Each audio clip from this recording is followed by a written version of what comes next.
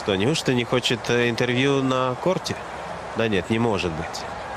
Эмоциональный момент. Она, видимо, что-то своей команде показывала. Бедная Роберта. Проиграла, так бы не плакала, я думаю, да? Теперь она поборется за титул. В субботу с Флавией Пинеттой. Тренер сам в шоке. Все, заслуженного тренера Италии дадут